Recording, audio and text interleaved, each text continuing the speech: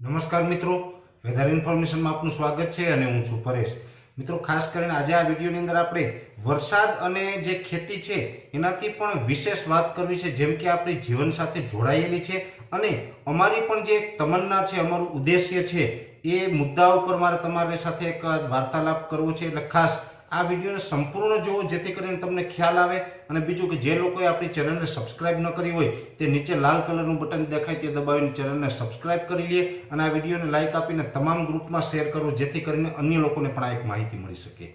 હવે આમ જોવા જઈએ તો આપણે રોજે રોજ વરસાદ અને ખેતીની માહિતી આપતા રહીએ છીએ. એમાં વરસાદ અને ખેતીની રેગ્યુલર માહિતી આપતા હોય એમાં ક્યારેક અમારે પણ જે કાંઈ અમારા મનની વાત હોય, તમારી સાથે અમારે કાંઈ ચર્ચા કરવી હોય તે ક્યાંય ને ક્યાંય રહી જતી હોય છે.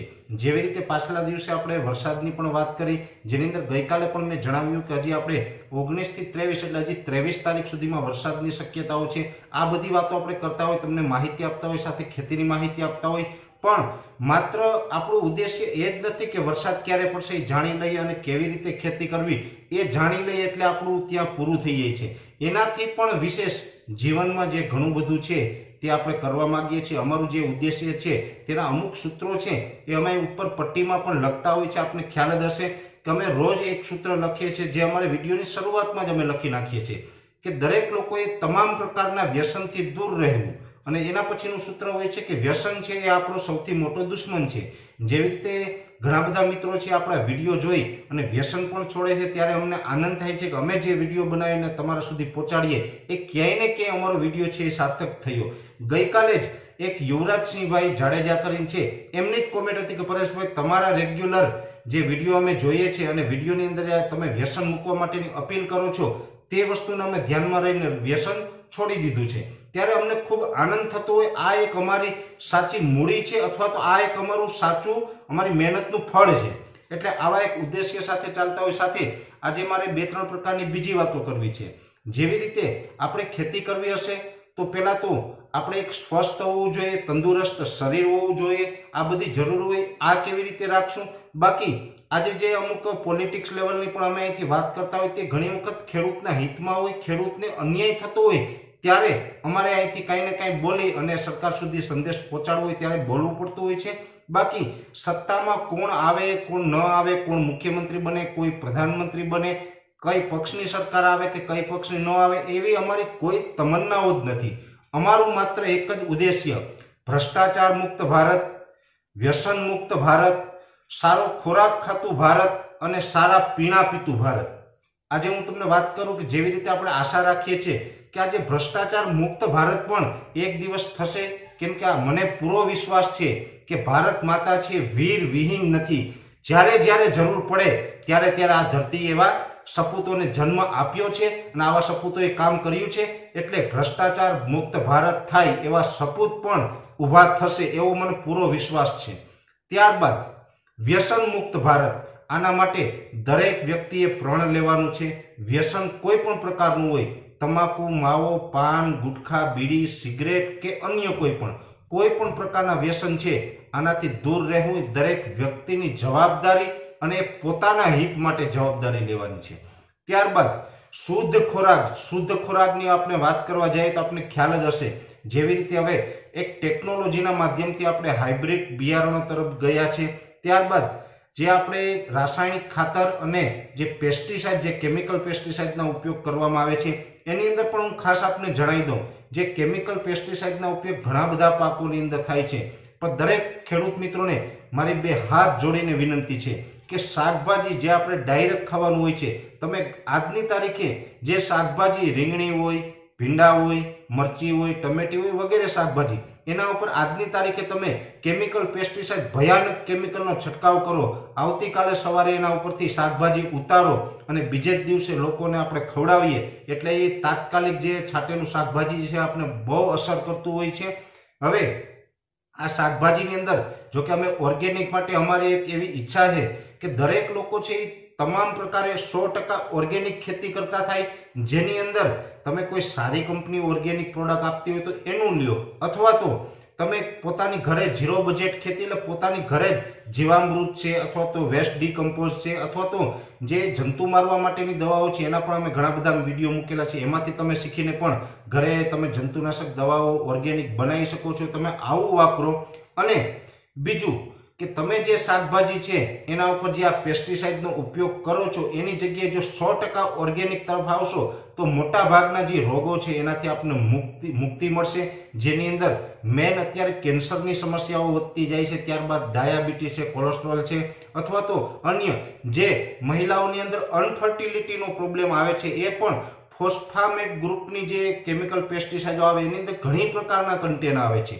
જે ફોસ્ફામેટ, આપને ખ્યાલ હશે, એક જમાનાની અંદર એન્ડોસલ્ફાન નામનું એક કન્ટેન આવતું હતું, જે ઘણી બધી કંપનીઓ બનાવતી હતી. એ એન્ડોસલ્ફાન ઉપર સરકારી પ્રતિબંધ આવ્યો. એન્ડોસલ્ફાન છે એ પણ ફોસ્ફામેટ ગ્રુપનું હતું. ત્યારબાદ આપને ખ્યાલ હશે કે ટ્રાઇઝોફોસ નામનું એક કન્ટેન આવતું ટ્રાઇઝોફોસ ઉપર પણ હવે પ્રતિબંધ આવ્યો છે. એ ટ્રાઇઝોફોસ છે, એ પણ જે આ એક ફોસ્ફામેટ ગ્રુપનું કન્ટેન હતું, ત્યારબાદ અત્યારે હાલમાં જે પ્રોફેનોફોસ આવે છે, એ પણ એક ફોસ્ફામેટ ગ્રુપનું જે કન્ટેન છે. ત્યારબાદ ઇમિડાક્લોપ્રિડ છે, એ ઇમિડાક્લોપ્રિડ છે, એ પણ મહિલાઓની અંદર અનફર્ટિલિટી વધારવાનો એક કામ કરે છે. એટલે અનફર્ટિલિટી વધે એટલે આપને ખ્યાલ હશે કે મેં થોડા દિવસ પહેલાં પણ એક વિડીયોની અંદર ઉલ્લેખ કર્યો હતો કે વારંવાર આવા જે ફોસ્ફામેટ ગ્રુપના કન્ટેનો છાંટતા હોય અને એના શાકભાજી જો ખાવામાં આવે, એટલે અનફર્ટિલિટી વધે એટલે એનાથી ખાસ કરીને અમે જે સર્વે કર્યું છે, તારણ કાઢ્યું છે એનાથી, દસ કપલના મેરેજ થાય, એમાંથી લગભગ પાંચથી છ કપલને પ્રેગ્નન્સી રહેવાનો પ્રોબ્લેમ આવે છે ને એની પાછળ જે અનફર્ટિલિટી અનફર્ટિલિટીની અંદર પણ મેઇન કારણ છે કે આ જે કેમિકલવાળા શાકભાજીઓ, એટલે ખાસ શાકભાજીની અંદર કોઈ કેમિકલ ન છાંટવું, એની અંદર જો તમારે કોઈ પણ પ્રકારની જીવાત હોય તો મેં એક વનસ્પતિથી આપણે દસ પરણી અર્ક અથવા તો બીજા વનસ્પતિથી આપણે જે ઓર્ગેનિક જંતુનાશક બનાવી શકીએ છીએ એ બનાવીને છાંટવું, એની અંદર ફૂગ આવે, તો એક પંપની અંદર પાંચસો એમએલ ખાટી દોઢ બે મહિના જૂની છાશ અને એમની સાથે એક લીટર ગૌમૂત્ર નાખી અને છંટકાવ કરવામાં આવે, તો પણ આપણે ફૂગથી સંપૂર્ણ, આપણે એક રાહત મળે છે, સંપૂર્ણ ફૂગ કંટ્રોલ થાય છે. ત્યારબાદ પાણી પીવાની વાત છે. હું આપણે જણાવી દઉં કે જે એક સારો ખોરાક ખાવો સાથે પીણા પણ સારા પીવા. આજે આપણે ખ્યાલ જ સોફ્ટ ડ્રિંક જે કોલ્ડ ડ્રિંક આવે છે, એનું પણ પ્રમાણ વધી રહ્યું છે.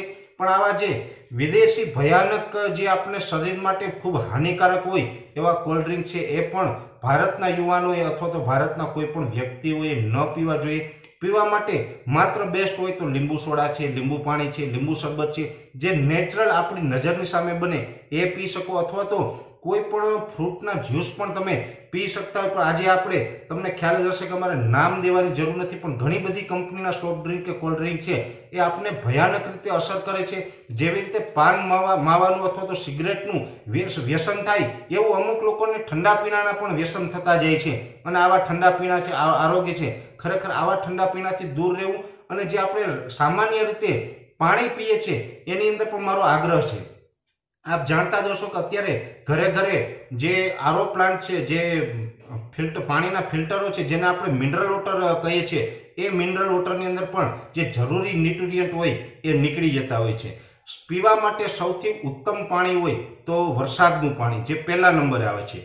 ત્યારબાદ બીજા નંબરે કોઈ પાણી આવતું હોય તો ચાલુ નદીનું પાણી કે જેનો પ્રવાહ ચાલુ હોય એવી નદીનું પાણી. ત્રીજા નંબર ઉપર આવે છે કૂવાનું પાણી, તળાવનું પાણી, બોરનું પાણી અને જે આપણે મિનરલ વોટર તમે જેને કહો છો આરો પ્લાન્ટમાં આપણે ઘરે ફિલ્ટર કરીએ છીએ, એ બધાથી છેલ્લે આવે.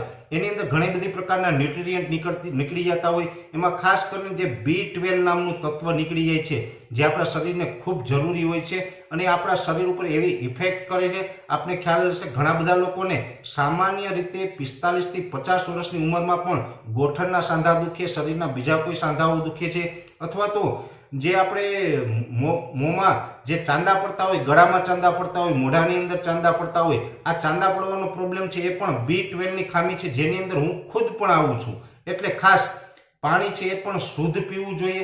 જે આપણે તમામ ન્યુટ્રિયન્ટ મળે એવું પાણી, એટલે કે વરસાદનું, કૂવાનું, બોરનું અથવા તો તળાવનું અથવા નદીનું, આવા પાણીઓ પીવા જોઈએ. એટલે અમારી એક જ તમન્ના છે કે ભ્રષ્ટાચાર મુક્ત ભારત, વ્યસન મુક્ત ભારત સારો ખોરાક ખાતું ભારત અને સારા પીણા પીતું ભારત. આવું ભારત થશે ત્યારે જ ખરેખર આપણી ભારતીય સંસ્કૃતિના નાગરિકો કહેવાશું ઇન્ડિયાના નહીં, પણ આપણે ભારતના નાગરિક છે. એટલું યાદ રાખવાનું છે. એટલે ખાસ, જે દરેક વિડીયોની અંદર અમે ન કહી શકતા હોય એવી વાત કહેવાની ઈચ્છા હતી, એટલે આજે સ્પેશિયલ આ વિડીયોની અંદર આ વાત મેં રજૂ કરી છે. બાકી, જે લોકો આપણી ચેનલ ઉપર નવા હોય તે લોકો ચેનલને સબસ્ક્રાઇબ કરવી. હાલ રજા આપશો. ધન્યવાદ.